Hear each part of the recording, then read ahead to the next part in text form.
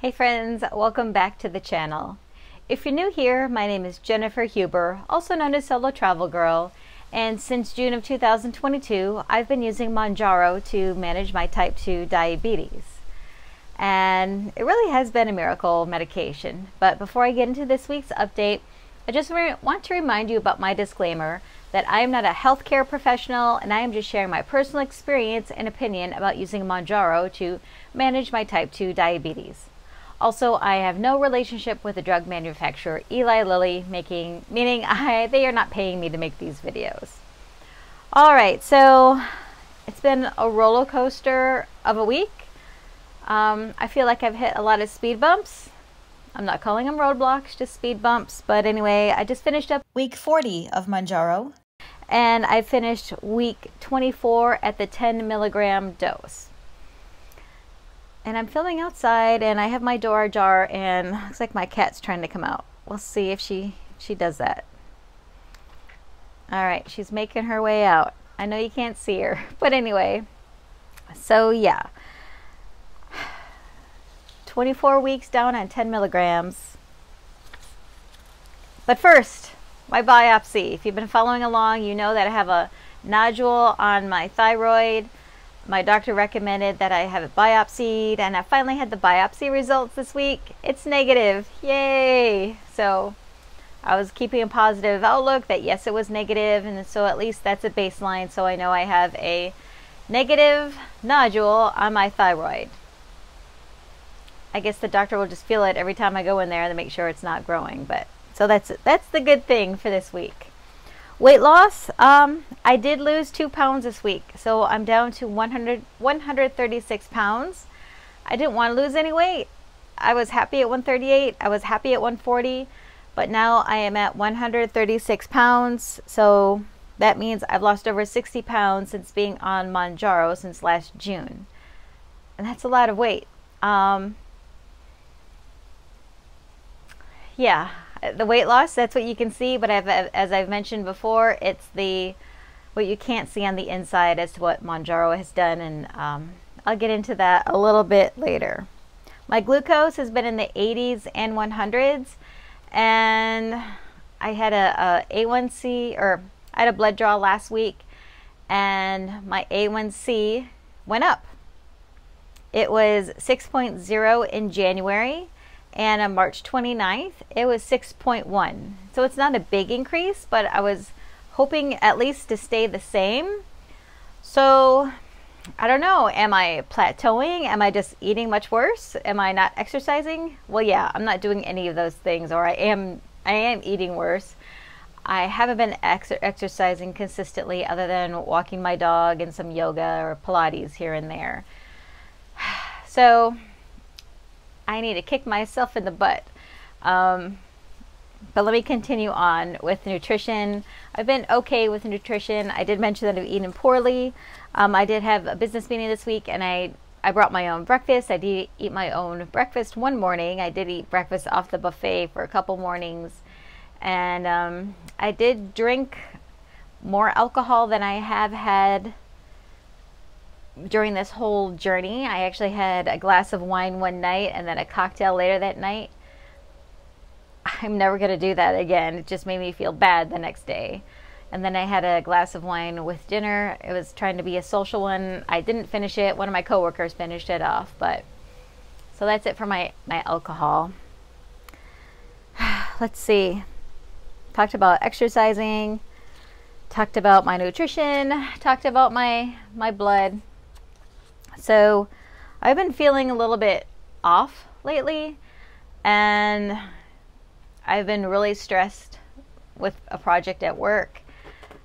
And I don't know if that's the only reason. I mean, it just seems like I'm always stressed or always busy, but I put myself basically I put myself back on my blood pressure medicine because I started taking my blood pressure and my when I had my blood draw my blood pressure was like 140 over 81 and it hasn't been that high in a while. So I put myself back on my blood pressure medicine, medication, and I think the way that I'm going to wean myself off is every other week. But also, I need to step up my exercise game. I just need to do that. Um, yeah. So My A1C was up. Put myself back on my blood pressure medicine. So I feel like I've had these these speed bumps this week. But wait, there's more to my my speed bumps. Um, during this this business meeting, I left my phone in an Uber one night, and that was like a freak out.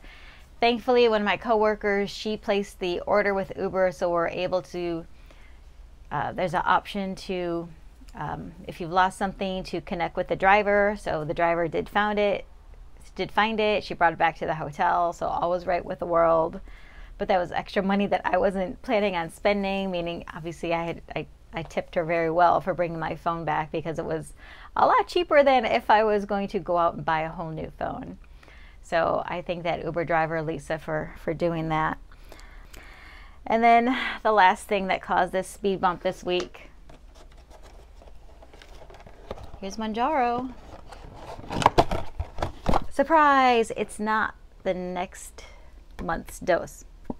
No, my Mounjaro has been on back order for almost two weeks now.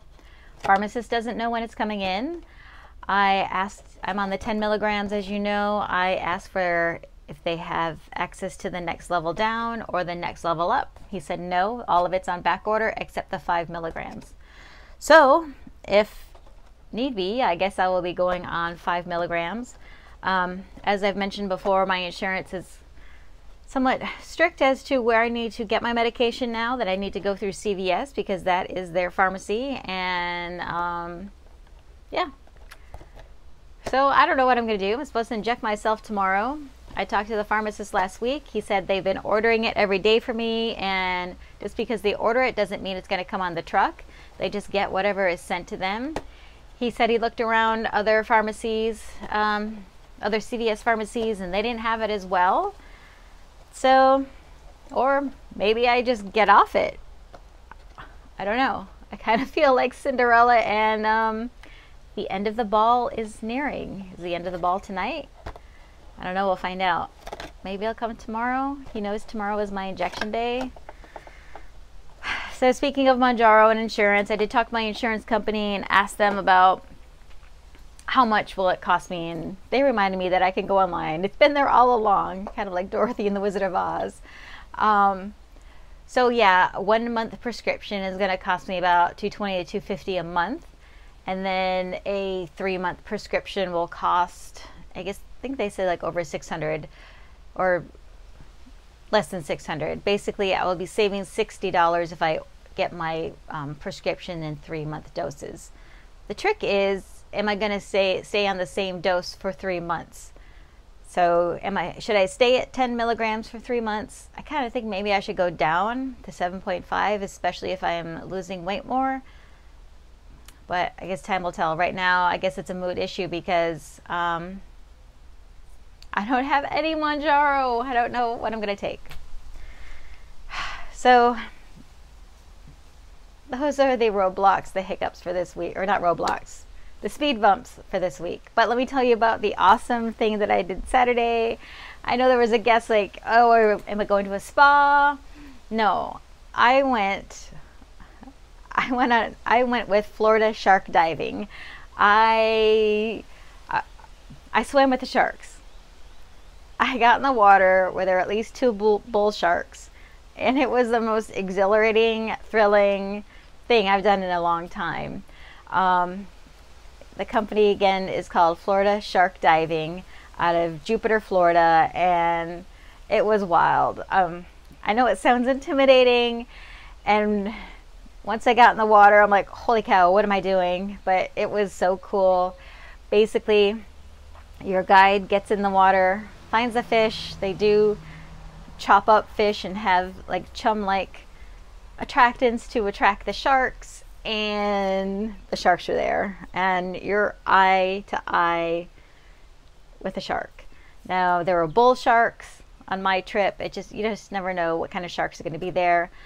The way that my week was going, I didn't think the trip was going to happen because the winds were very gusty and when I was looking out on the water on Thursday, I'm like, there are white caps out there. There's no way this trip's going to go if the, the water is like this, if the waves are like this And Friday night, they sent a notification out, an email stating that it's going to be a game day call because of the winds. They're not sure what the winds are going to do. And so I got up Saturday morning, got out to the marina at 7:30, hoping that the trip was on.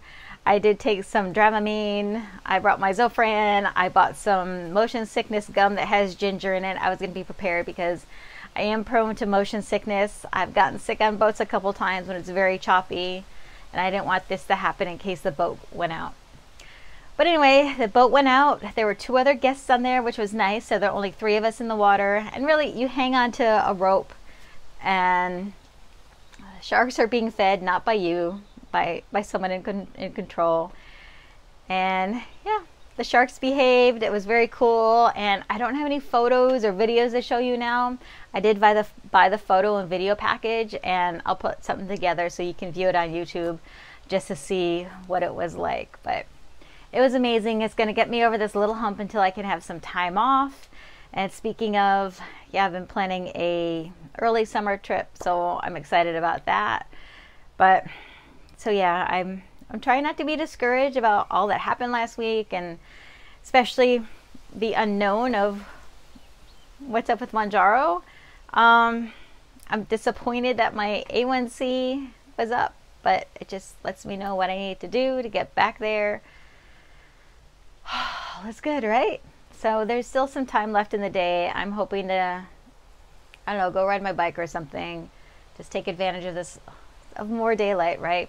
But that's enough about me. I hope everything is going well with you. I'm sure it's going well with you. You know, hang in there. Keep it up. Keep on doing what you've been doing. Have an awesome week and thank you. Thank you, thank you, thank you for your comments and for your viewing. I do appreciate you. And I do wish you well on your journey. Remember, everyone's journey is going to look a little bit different, but just stay the course. You know, refer to your doctor, and everything will be okay, and we will have long, happy lives, right? Yes. All right. Be kind to yourself and be kind to your others this week. Thanks for watching. Bye.